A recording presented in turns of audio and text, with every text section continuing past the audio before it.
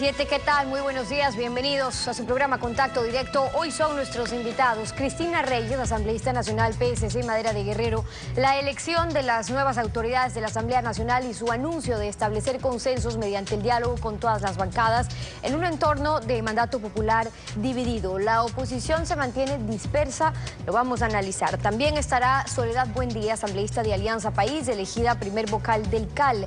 La necesidad de encontrar acuerdos políticos mediante el diálogo, según han anunciado el presidente electo de la República y el nuevo presidente de la Asamblea. Lo vamos a examinar. Y Jorge Gallardo, exministro de Finanzas, la velocidad de las especies monetarias en el sistema bancario ha bajado a la mitad en nueve años. El dinero electrónico emitido por el Banco Central del Ecuador, ¿aumentará esa velocidad o reducirá aún más? Lo vamos a analizar. Bueno, la República del Ecuador está viviendo una transición inédita de gobierno, del primer presidente que ha ejercido el poder por 10 años consecutivos por elección popular a otro presidente del mismo partido elegido por el pueblo. Alfredo, buenos días, ¿cómo te va? Muy bien, Estefi, buenos días. Buenos días con todos. Esta situación exige una preparación especial de la clase política, gobierno y oposición representados en la Asamblea Nacional. Un desafío que abre una incógnita de difícil pronóstico porque la oposición ha sido prácticamente inexistente en la Asamblea durante los últimos cuatro años, mientras el mando gobernante se ha evidenciado autista y arrogante. Felizmente, el pueblo ha demostrado la conciencia que tiene de esta coyuntura histórica y ha expresado un mandato electoral partido por la mitad. Entre tanto, se desenvuelve una transición a dos velocidades, la despedida del que se va y la instalación del que llega, lo cual está unido por un cordón umbilical económico que marca toda la transición, el costo de una despedida fastuosa, tomando los excedentes de liquidez del sistema mediante sobretasas arancelarias, anticipo del impuesto a la renta y alza del IVA, también a través de préstamos al Banco Central, de los depósitos del IES, de los gobiernos autónomos y del encaje de la banca privada, así como por venta anticipada de petróleo y endeudamiento externo. De modo que cualquier señal política, como indultos, amnistías o reformas legales, solo sirven de cobertura al problema de fondo, el económico, que para fortalecer la dolarización que es lo único que encuentra apoyo universal en el Ecuador, exige el ajuste inmediato de un Estado derrochador y clientelar. Este ajuste implicaría un comienzo austero que puede postergar algunas promesas de la campaña electoral para concretarlas cuando al final del periodo haya una real recuperación. El otro camino es la vía irresponsable de continuar el derroche raspando la olla para alargar el espejismo de que la crisis terminó, lo que podría conducir a una crisis que haría extrañar al que se despide para regresar, haciendo uso de la reelección indefinida. Entonces, las grandes incógnitas que surgen son si el que llega hará un cambio que le permita aspirar a la reelección y si la oposición continuará en la Asamblea dispersa, incoherente y sin persistencia, así como alejada de las calles, a las que espontáneamente sale la ciudadanía cuando no está satisfecha ni con gobierno ni con oposición. La actualidad, los protagonistas, el análisis y la información en contacto directo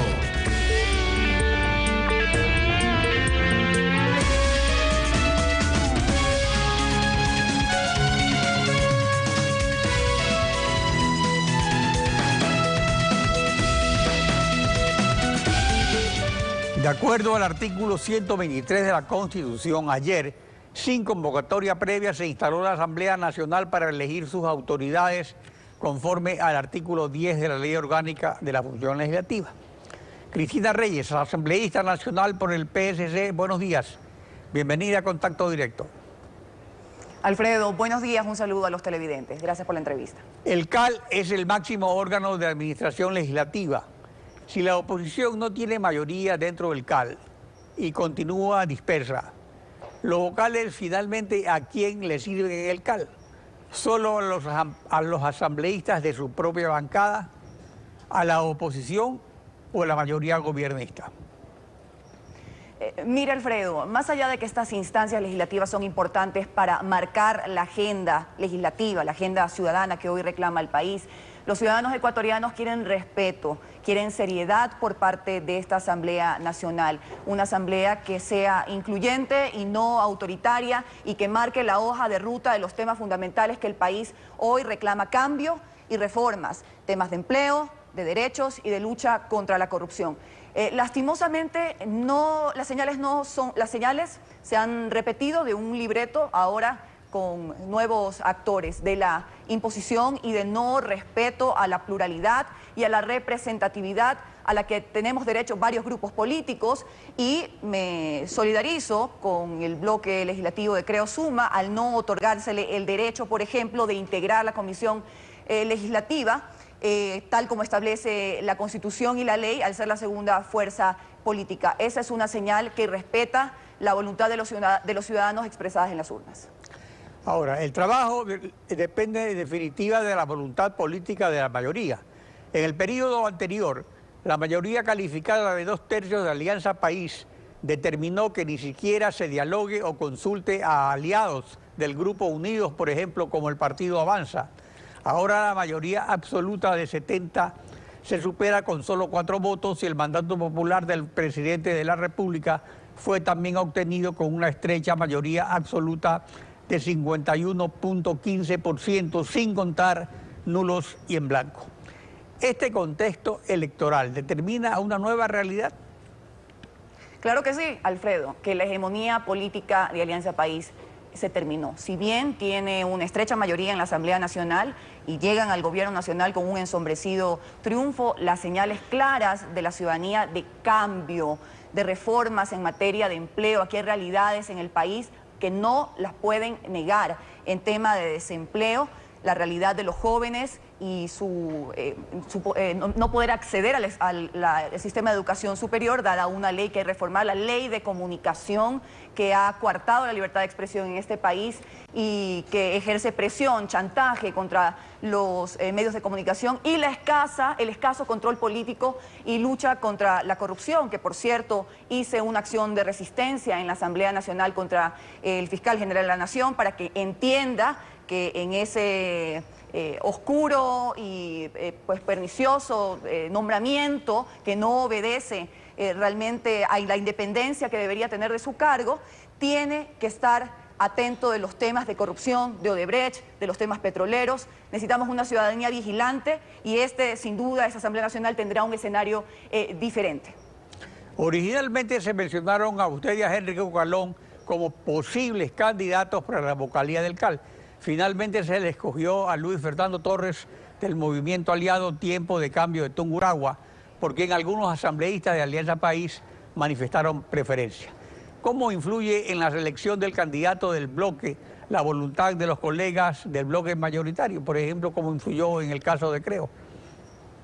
Eh, mire, la decisión de designar al doctor Luis Fernando Torres la tomamos en consenso con nuestro grupo legislativo, con nuestro bloque eh, parlamentario, pero una señal de que los señores de Alianza País no quieren ir por esa ruta de cambio, de pluralidad y que continúan con el sectarismo, es no haber aceptado, por ejemplo, el candidato de la Alianza eh, Creo Suma, que ellos tendrán sus razones para presentarlo. No es que tiene que tener la venia de Alianza País, eso no es democrático, eso da una señal mala al Ecuador de que se va a continuar con la misma ruta de la imposición Necesitamos una asamblea incluyente. Igual, Alfredo, cuando empecemos ya con el trabajo de las comisiones legislativas, que ojalá que se respete el deseo, la experticia, eh, la profesión de cada uno de los legisladores de integrar estas comisiones con la ciudadanía que participa en la construcción de las leyes. ¿Cómo se han construido las leyes en este país? Lastimosamente ha sido por la imposición y no una construcción colectiva eh, en función de los intereses nacionales. Ojalá que haya realmente un cambio y que estemos a la altura de las expectativas de los ciudadanos que hoy demandan eh, eh, pues compromiso y responsabilidad por parte de los legisladores. Hace una semana el bloque del PSC y su alianza con los movimientos Madera de Guerrero del Guayas Tiempo de Cambio de Tungurahua y Social Conservador del Carchi, proclamaron que lucharán, entre otras cosas, por la independencia de funciones, el respeto a las libertades, el final del autoritarismo, la economía social de mercado y la dolarización como herramienta que ha dado estabilidad a la economía, mejorando la calidad de vida de los ecuatorianos, principalmente de los más pobres. Para la concreción de esa plataforma de lucha, priorizarán acciones conjuntas con la bancada mayoritaria de Alianza País o con las otras bancadas de oposición. ¿Cómo ve usted el panorama? Todo lo que sea positivo para el país merece aunar esfuerzos y merece eh, compromiso. E, efectivamente, nuestro bloque legislativo que ha, recibido un gran apoyo popular defiende estas causas, no solamente como banderas de campaña, sino que ya lo hemos demostrado desde la Asamblea Nacional y en otros espacios. Hay leyes que hemos planteado su reforma, como la ley de seguridad, vamos a plantear ley de seguridad social, ley de comunicación, eh, como le he dicho, a la ley de educación superior y este problema grave de jóvenes que se quedan fuera del sistema y la lucha contra la corrupción. Trabajaremos eh, en, esta en esta línea con estas banderas y ojalá que haya por parte del oficialismo esa apertura de mirar hacia el futuro, de que, de que tenemos que implementar los cambios que el país eh, necesita y lo mismo de los otros bloques legislativos. Eh, Alfredo, el país necesita que se le diga la verdad y el país necesita no solo sincerar las cifras en este nuevo gobierno que se va a posesionar, sino acciones concretas. El país quiere empleo, el país quiere eh, educación, salud y no que se impongan agendas político-partidistas como lastimosamente las ha implementado Alianza País a lo largo del año. Necesitamos una agenda ciudadana y nosotros vamos a bregar por esa agenda ciudadana en progreso y libertad como es nuestra eh, bandera de lucha partiendo de las coincidencias de los candidatos presidenciales, tanto de oposición como el candidato oficial, en primera vuelta, ¿ha habido conversaciones con los otros bloques de oposición? Claro que sí, hay líneas eh, de diálogo. Quiero decirle, Alfredo, que en, la asamblea que, feneció eh, tuvimos una articulación importante en coincidencia, en resistencia, en banderas de lucha, en estos temas eh, que he mencionado y creo que lo propio, más allá de las diferencias políticas que puedan existir, confío aspiro, como lo he dicho, que estemos a la altura de los compromisos y las expectativas eh, de los ciudadanos. Habrá un diálogo fluido y yo también invito a la ciudadanía de que esté vigilante, a que los legisladores cumplamos con nuestra responsabilidad y con nuestro deber frente a los temas eh, que hoy ameritan eh, que trabajemos conjuntamente, sobre todo el tema económico, reivindicación de derechos de estos grupos que he dicho que han sido perjudicados y la lucha contra la corrupción, porque este país es de gente honesta y se indigna y le da rabia frente a la impunidad y la alcahuetería en temas de corrupción y que sus autoridades no actúen acorde a la Constitución y la ley para procesar y sancionar a quienes eh, han robado a los ecuatorianos. Cristina Reyes, asambleísta nacional, PSC Madera de Guerrero, gracias por acompañarnos en contacto directo. Gracias a usted, Estefi. Son las 7 de la mañana con 13 minutos con ustedes. Tiempo de ir a una pausa y cuando regresemos estará Soledad Buendía, asambleísta de Alianza País por Pichincha, elegida ya primer vocal del CAL. Vamos a hablar sobre la apertura de este ámbito de diálogo con la oposición para encontrar consensos en la agenda legislativa, las designaciones al regresar. Quédese usted en nuestra sintonía.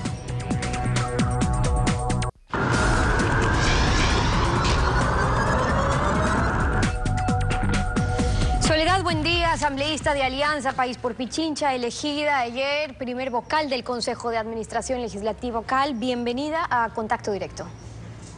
Gracias, Estefi. Buenos días muy gentil por la invitación y un saludo a todos los ecuatorianos que nos siguen. Buenos días. Ayer, además de elegir a quienes estarán frente a la Asamblea por los próximos dos años, José Serrano como presidente, Viviana Bonilla primera vicepresidenta y Carlos Berman como segundo vicepresidente, escogieron a los vocales del CAL, pero les faltó uno. Escogieron a tres. Usted por Alianza País como primera vocal, está Verónica Arias de Ares, segunda vocal, y Luis Fernando Torres, PSC, tercer vocal. ¿Qué pasó con el cuarto asambleísta? Bueno, es importante señalar, Estefi, que la ley de la función legislativa prevé que se elijan los vocales del CAL de diferentes bancadas. Este es el imperativo normativo, por lo tanto, de las diferentes bancadas que se habían presentado conforme lo establece la normativa. La bancada de Creo, como es de conocimiento público, no había cumplido ni siquiera el requisito legal de presentarse como bancada, como así lo certificó Secretaría el día de ayer. ¿Qué más pluralidad de nuestro compañero presidente de la Asamblea que permitió que se incorpore este requisito a lo largo de la sesión para que pudieran tener esa muestra de presentar los candidatos como así lo señala la norma.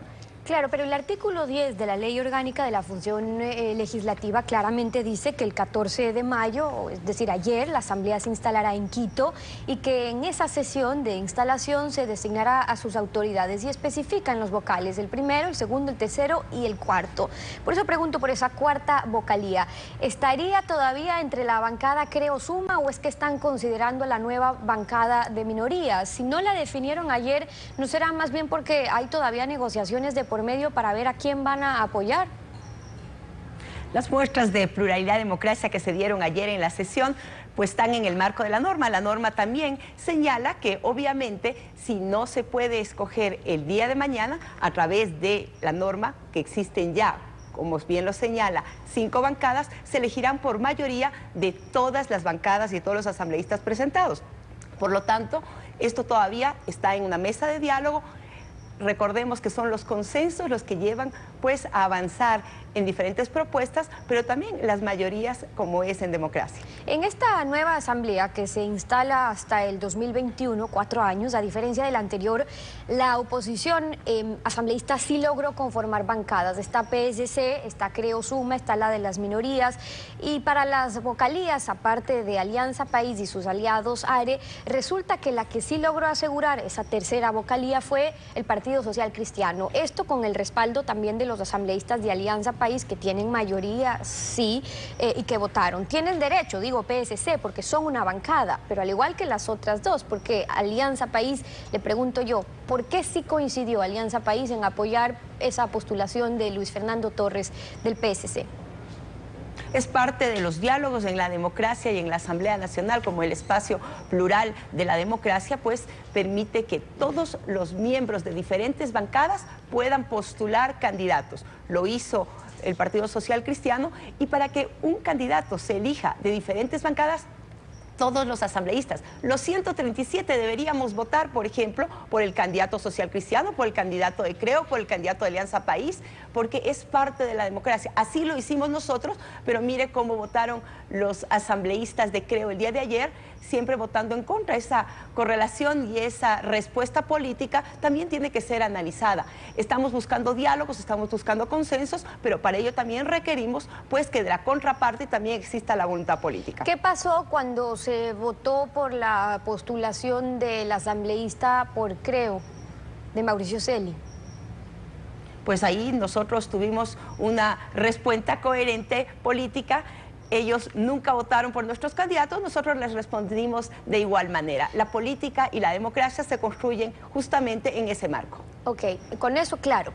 También lo que ocurra con la cuarta vocalía eh, define un poco la posición que eh, pueda tener Alianza País y sus aliados sobre esas bancadas de oposición. Ya hemos visto también la posición sobre PSC y, y sobre Creo, me refiero de Alianza País. Ahora, hay diferencias evidentes, acentuadas de campaña con el movimiento Creo, la Alianza Creo Suma. En cambio, con la bancada de minoría que tienen a la izquierda democrática, Pachacuti, Café, algunos son ex aliados. El mismo Pachacuti, recordemos que apoyó al gobierno de Rafael Correa en sus inicios, pero luego se separaron y así otros de la izquierda democrática. Le pregunto, ¿busca el nuevo gobierno, el oficialismo, Alianza País, recuperar a sus ex aliados? ¿Va a ser por ahí también los diálogos con la oposición? Buscamos hacer una asamblea de puertas abiertas, una asamblea de diálogos, una asamblea ojalá de consensos en función de una agenda legislativa que busca justamente fortalecer la dolarización, que busca generar empleo, producción, inversión, garantizando derechos laborales y generando condiciones para que todos los avances en el ámbito social de esta revolución ciudadana puedan continuar y profundizarse.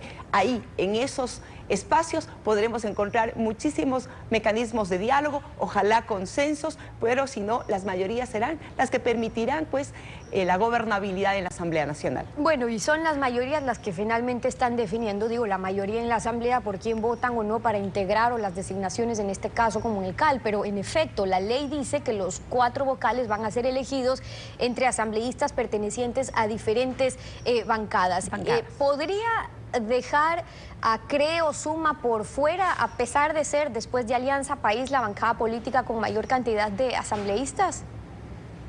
Esto es parte del diálogo político que tendremos en la Asamblea Nacional. El mismo eh, coordinador de la bancada de Creo eh, Roberto Gómez se ha acercado para conversar, estamos abiertos a dialogar. Los consensos se pueden llegar cuando existe voluntad de dialogar de dos partes. El diálogo no se puede hacer de manera unilateral, nosotros estamos dispuestos a conversar, estamos dispuestos a poder establecer algún consenso, caso contrario serán las mayorías las que puedan permitir esa constitución de ese vocal en el Consejo de Administración Legislativa, que es fundamental para armar esa agenda legislativa, pero priorizar las leyes, para permitir pues que la Asamblea Nacional construya aquello que el Ecuador requiere. Alianza País tiene 74 de los 137 curules de la Asamblea Nacional. Es mayoría, sí, pero hemos dicho, eh, no los 100 que tenían antes, tienen un número de asambleístas también con alianzas, al igual que antes, pero los aliados no necesariamente siguen las mismas directrices de su movimiento de Alianza País. De hecho, vimos en la aprobación de los cuerpos civiles armados para la protección de autoridades como una asambleísta, Verónica Rodríguez, de Alianza País, pero con Alianza de Unidad Primero, se opuso a lo que aprobó Alianza País. Eh, el reto eh, de su movimiento será ahora poder mantener a los aliados para no perder una mayoría en la Asamblea.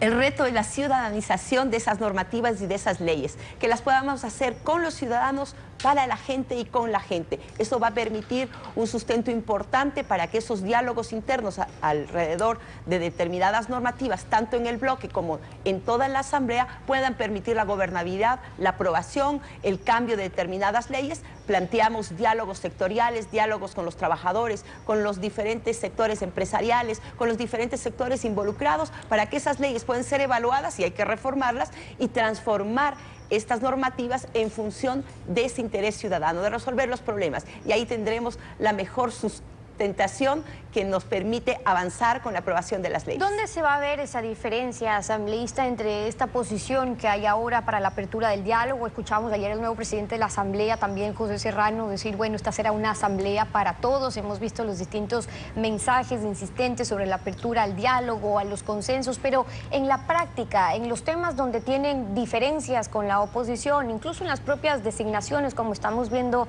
ahora en la Asamblea en su primer día de sesiones, en la práctica, ¿cómo se va a ver esa apertura al diálogo y a los consensos? La práctica se dio el día de ayer con una sesión absolutamente democrática, plural, donde el presidente José Serrano dio la palabra a todos los sectores de manera absolutamente democrática. La práctica fue la elección por parte también con el apoyo de los votos de Alianza País del tercer vocal del CAL y el diálogo para que podamos constituir de manera integral. Adicionalmente, de manera permanente, tanto las autoridades de la Asamblea se reunirán con los diferentes bloques parlamentarios, con la ciudadanía. Vamos a abrir esa asamblea de puertas abiertas que ha sido en estos cuatro años hacer un trabajo sustentado con todos los ciudadanos. Creemos que esto es fundamental. Sentarnos y a dialogar. Lo vamos a plantear desde la Comisión de Régimen Económico con los empresarios, con las cámaras, para poder evaluar más de 25 incentivos tributarios para poder generar empleo, garantizar la dolarización y permitir que el desarrollo sea integral, respetando derechos y logrando, obviamente, que todos los avances sociales se consoliden y se garanticen. Las propuestas y el análisis con Soledad Buen Día, asambleísta de Alianza País por Pichincha, primera vocal del CAL, acompañándonos hoy en contacto directo. Gracias por haber estado con nosotros. A usted, 7 con 29. Una pausa y al regresar está en nuestros estudios ya eh, Jorge Gallardo, exministro de Finanzas. Vamos a hablar sobre la reducción a la mitad de la velocidad de circulación del dinero en nueve años de la Revolución Ciudadana. El dinero electrónico del Banco Central va a reducir aún más esa circulación. Lo analizamos al volver. Quédese usted en nuestra sintonía.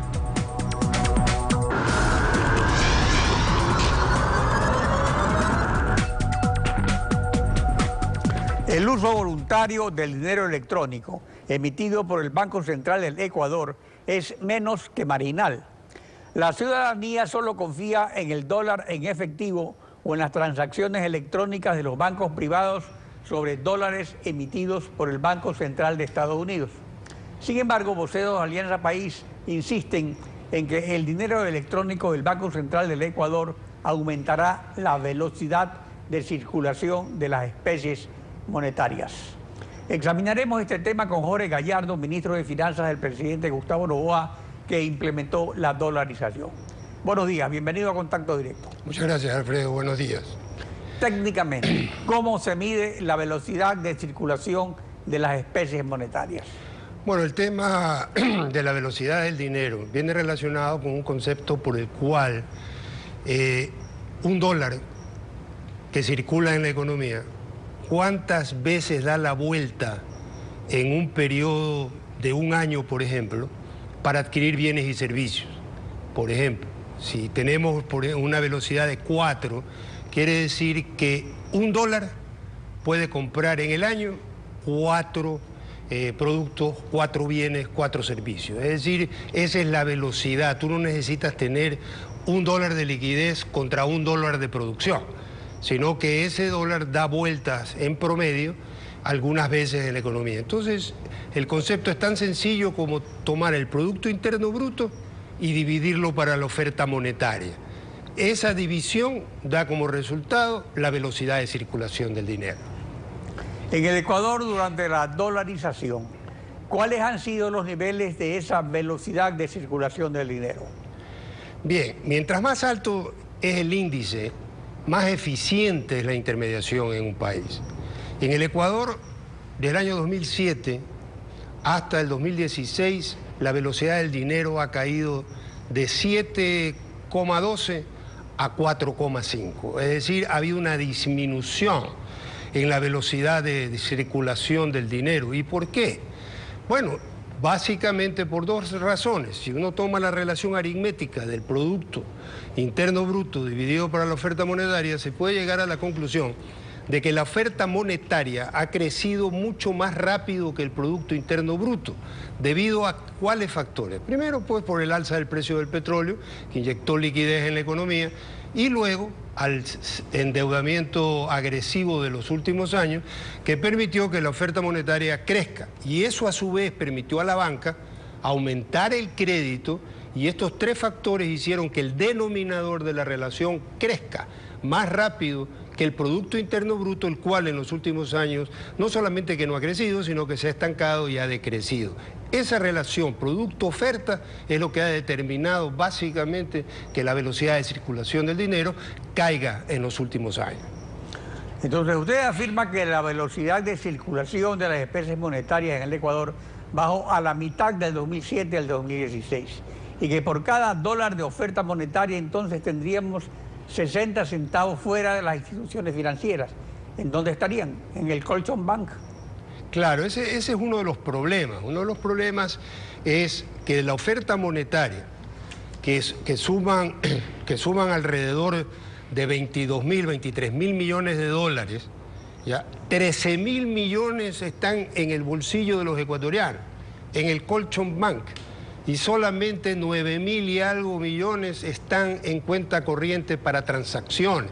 Es decir, en los últimos años hemos visto cómo paulatinamente ha habido poco a poco, se ha retirado dinero de la banca para tenerlo en el colchón y no en el sistema financiero. Eso definitivamente afecta las, las transacciones eh, la intermediación financiera afecta al crédito y, en definitiva, afecta al crecimiento económico. ¿Pero eso qué revela? ¿Desconfianza entonces? Hay una, hay una dosis eh, de desconfianza, porque la, velocidad no solamente tiene que ver eh, con la parte tecnológica, que es muy importante para que aumente la eficiencia de las transacciones en una economía, sino también tiene un valor fundamental la confianza que tienen los ciudadanos en la marcha de la economía y de su sistema financiero. Y por lo tanto, en vez de tener el dinero fuera del sistema, eh, evidentemente lo lógico, si hay confianza, es tener el, dinero dentro del sistema porque eso va a multiplicar en definitiva la actividad económica. Entonces, sí, lo que causó, digamos, eh, eh, la, en la disminución de la velocidad fue el exceso de oferta monetaria por la lotería petrolera. En estos momentos que no hay ese exceso, sino que se toman excedentes de liquidez de otros sectores por parte del gobierno. El dinero electrónico emitido por el Banco Central del Ecuador para uso que no está todavía autorizado, pero que eventualmente se puede autorizar del gobierno, aumentaría o disminuiría la velocidad de circulación. Mire, lo que mantiene que el dinero electrónico, mal llamado dinero electrónico, va a aumentar la velocidad del dinero, no saben lo que están diciendo. Es decir, no hay ningún fundamento técnico para poder mantener un argumento de esa naturaleza. Y más aún, quiero en esto ser muy enfático. El dinero electrónico, o mejor llamado billetera electrónica, es un mecanismo que se creó y se implementó en algunos países de África con mucho éxito para lograr la inclusión económica y financiera de vastos sectores de la población, sectores rurales, campesinos, sectores urbanos marginales que no tenían acceso al sistema financiero formal. Y a través de la billetera electrónica, entonces pudieron entrar al, al sistema formal, pero no con el Banco Central como emisor de la moneda electrónica, sino con una vasta red de operadores no financieros que contribuyeron para la eficiencia del pago y de las transacciones a través de la llamada billetera electrónica. Entonces el dinero electrónico emitido por el Banco Central de Ecuador, en definitiva, puede aumentar o disminuir la circulación del dinero. ¿Qué ocurriría en la práctica? Definitivamente que sería totalmente marginal, o sea, estamos hablando de actualmente de 8 millones y medio de dólares de dinero electrónico circulando en la economía, cuando tenemos en, los bolsillos de los ciudadanos más de 13 mil millones de dólares. Por lo tanto, hablar de que el impacto... Pero no, pero de lo que se habla ahora es de que se lo usaría por parte del gobierno, por ejemplo, para pagar a particulares, a proveedores, para pagar sueldos y salarios para pagar a contratistas. Entonces ya no es el ya no es una billetera electrónica como la que se creó en otros países del mundo, sino que es una, un medio de pago que le serviría al Estado. Mire, Alfredo, ojalá que eso no se produzca. Por el caso de utilizar una moneda paralela, llámese electrónica, espacial o lunática, en lo que va básicamente a derivar es en destruir las bases en las cuales se sustenta la dolarización. Es por eso que yo mantengo que en el Código Monetario y Financiero hay dos potentes virus que hay que eliminar. El uno, al haber convertido al Banco Central del Ecuador en prestamista de última instancia para que tome los depósitos de la banca, de los municipios, de los consejos provinciales, de las empresas públicas no financieras para prestarle al gobierno. Y la otra es querer convertir, no se ha dicho, pero querer convertir el dinero electrónico en un medio de pago generalizado, lo que en definitiva va a causar estos dos elementos, la desaparición, tarde o temprano, de la dolarización. Usted señala que debido a la expansión del gasto público, la oferta monetaria ha crecido más rápido que el Producto Interno Bruto, que a partir del 2013, año previo al endeudamiento agresivo, ¿Ha influido en esto el uso de lo que la Junta Monetaria llama excedentes de liquidez, es decir, la utilización por el gobierno de las reservas depositadas en el Banco Central? Claro, porque básicamente lo que, lo que pasa es que el Banco Central tiene en sus bóvedas, en sus depósitos, esos dineros que no entran a formar parte ¿no, verdad? de la oferta monetaria. Ese dinero se lo presta al, al gobierno y el gobierno lo lanza a la economía pagando a proveedores, salarios, etcétera, y eso, ese dinero entra al torrente de liquidez de la economía vía el sistema financiero, lo que, hace, lo que provoca un aumento de la oferta monetaria, no solamente a través de los depósitos que realizan los que reciben estos dineros, sino también por la actividad crediticia del sistema financiero. Entonces, ese es un elemento de expansión de la oferta monetaria, sin lugar a dudas, que no ha tenido una respuesta eh, equivalente del crecimiento del producto. El producto se ha quedado retrasado por más liquidez que se le ha metido a la economía. La producción interna de bienes y servicios continúa estancada y por lo tanto el numerador de la, de la relación se mantiene estancado en términos nominales o decrece, mientras que el denominador, que es la oferta monetaria, crece por estos factores, lo que hace que la velocidad de circulación del dinero disminuya en la economía. ¿Qué debería hacer el nuevo gobierno para aumentar la velocidad de circulación del dinero? Bueno, en, en primer lugar, yo creo que es importante determinar las causas que nos han llevado a esta situación. Y una de las causas fundamentales está en el excesivo gasto público. De ahí que los- el déficit fiscal en los próximos cuatro años debería, a través de un programa económico gradual, irse reduciendo para poder limitar el uso de créditos para poder tapar el hueco fiscal. Y, además debería haber una resolución, un decreto ejecutivo fuerte del nuevo presidente prohibiendo la utilización de recursos del Banco Central del Ecuador para financiar el gasto público. Jorge Gallardo, gracias por su participación en Contacto Directo. Estefi. Así concluimos esta emisión y como siempre lo hacemos agradeciéndole a usted por su confianza y sintonía. Nos volvemos a encontrar mañana, Alfredo. Mañana continuamos rayando la desinformación en Contacto Directo. Buenos días.